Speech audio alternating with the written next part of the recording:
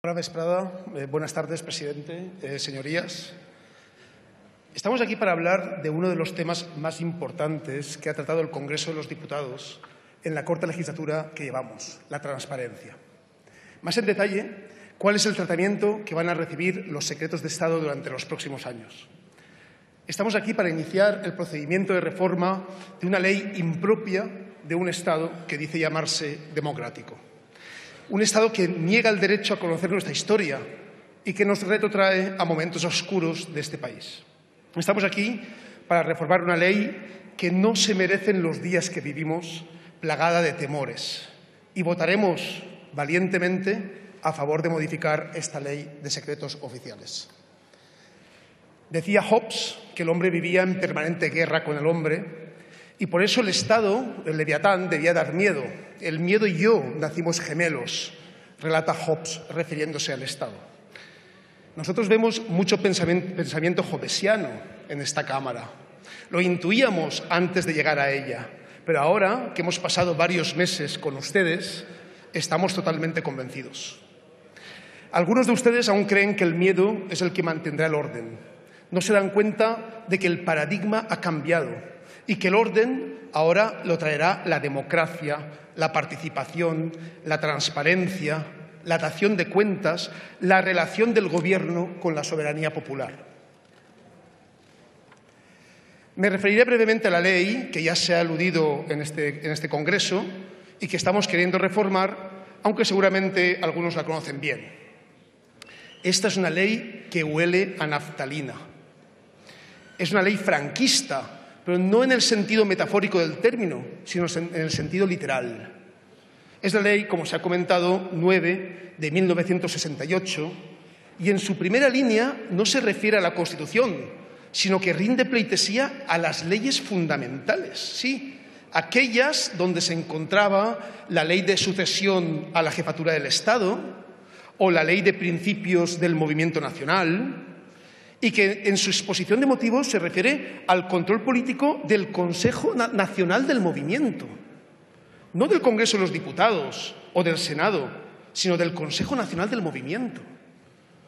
La única reforma de la ley se realizó meses antes de que fuera aprobada la Constitución.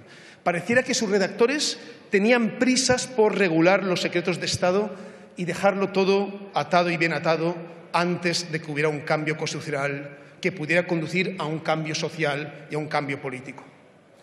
Antes de que el constituyente incorporara un artículo como el artículo 20, que les recuerdo dice que se reconoce y, protege el derecho a comunicar y recibir libremente información, o el artículo 105 sobre el derecho del acceso de los ciudadanos a los archivos y registros administrativos, salvo en lo que afecte a la seguridad y defensa del Estado, señala el artículo, pero en ningún momento crea una cláusula eterna de secretismo, sino que su alcance es limitado. Tiene que afectar a la seguridad y defensa del Estado ahora, no hace 50 años.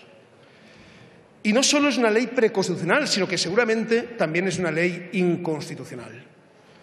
En algunas de las pocas y accidentales oportunidades que ha tenido el Tribunal Constitucional para referirse a la Ley de Secretos Oficiales, como la sentencia del Tribunal Constitucional 31 del 2014 o la 111 del 2011, en relación, por cierto, a Rafael Vera y a Luis Roldán, lo ha hecho intentando que los derechos fundamentales no se vieran violados por la aplicación extensa de la ley.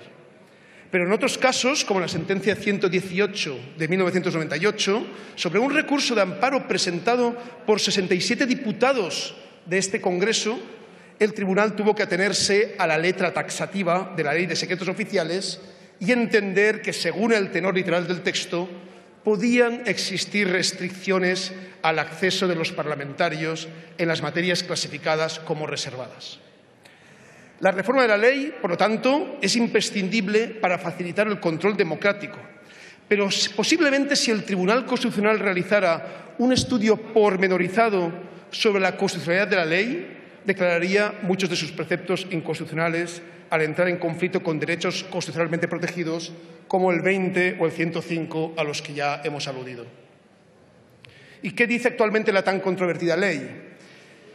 Que no solo el Gobierno tiene la capacidad para declarar una materia reservada, sino que también lo puede hacer la Junta de Jefes de Estado Mayor, un órgano que ya no existe, señorías. Esa decisión tenía sentido cuando vivíamos en un régimen autoritario y había cosas que ocultar, cosas que ahora queremos y necesitamos saber. Hoy en día, la decisión sobre si se desclasifica o no un documento la toma el mismo órgano que la declaró secreto. Por lo tanto, el carácter secreto se mantiene para siempre hasta que alguien entiende que determinado documento no puede seguir estando clasificado y pide su apertura. En las raras ocasiones que se accede a ello, se hace arbitrariamente, refugiándose en esta ley preconstitucional y probablemente inconstitucional que haría sonrojar al propio Hobbes y que tiene pocas similitudes con nuestro entorno. Aquí se han dicho algunos casos ya. Pero cabe reiterar el caso norteamericano, donde a través de la primera enmienda de la Constitución se ha creado jurisprudencialmente un derecho a conocer. Imagínense, un derecho a conocer. En un plazo máximo de 20 años, cualquier ciudadano norteamericano puede conocer cualquier documento secreto o confidencial. O la legislación alemana, que también se ha hecho referencia, que entiende que no puede ocultarse ningún acto de Estado que vulnere un derecho constitucionalmente protegido. ¿Por qué negar el conocimiento de la historia? ¿A qué temen? Nosotros no tememos a nada. Perdimos muchas cosas, entre ellas perdimos el miedo. Por eso nos tienen aquí, señorías, porque perdimos el miedo.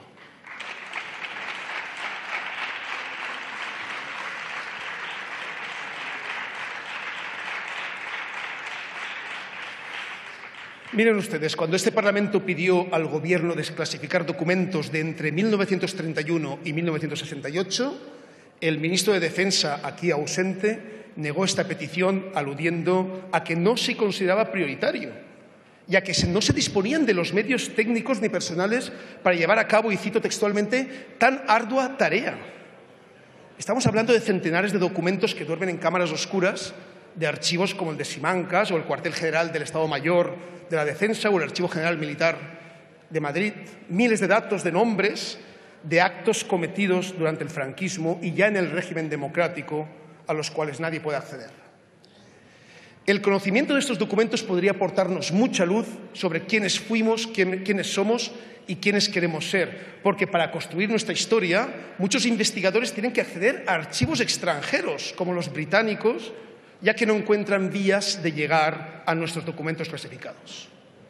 Porque no se trata de papeles, los papeles son materia muerta, se trata de personas, de nombres, de familias, de hombres y de mujeres, de poetas, de poetas fusilados durante la guerra civil y cuyos cuerpos nunca fueron encontrados.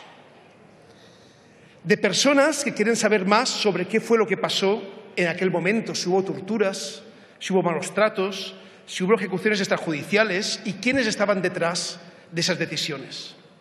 Por tanto, el sí a la reforma para que los documentos secretos puedan desclasificarse se lo debemos a la historia, a la verdad, a esas familias, a ese país y a su gente, porque recordemos, nunca más un país sin su gente.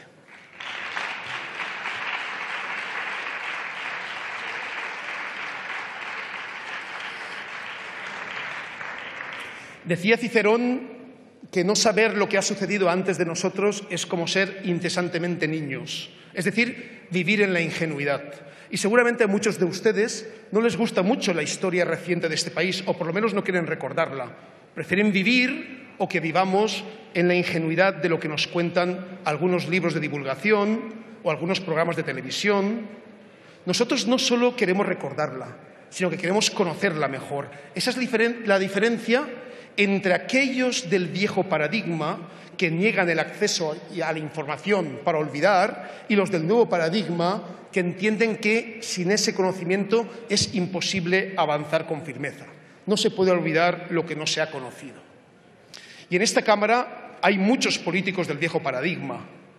Los que hemos llegado a este Parlamento nuevos lo hemos hecho desde un nuevo paradigma y donde algunos querían oscurantismo, nosotros queremos luz y taquígrafos.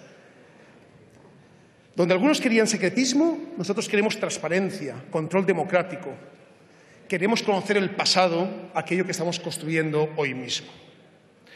No más secretos, no más papeles reservados, no más desconocimiento de nuestro pasado. reivindiquemos el conocimiento de la historia como una forma de crear debate público y crecer como pueblo. Quizás no nos guste lo que, lo que lleguemos a saber, pero tendremos que vivir con ello y lo haremos a mucha honra. Muchas gracias. Gracias, señor Martínez.